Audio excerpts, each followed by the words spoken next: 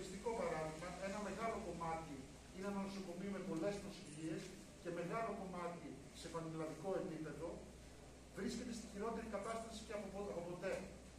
Και αυτό γιατί ε, βιώνουμε μια χρόνια εγκατάλειψη. Οι χώροι, το νοσοκομείο μας, το κτίριο, ε, έχει φτάσει στο απροχώρητο, έχει εγκαταλειφθεί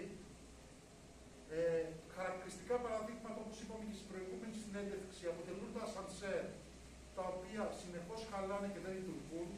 Στις τελευταίες εφημερίες ή τον τελευταίο μήνα είδα συχνό φαινόμενο να αποκλείονται ασθενείς είτε στο ισόγειο και να μην μπορούν να πάνε στον όροφο που γινόταν η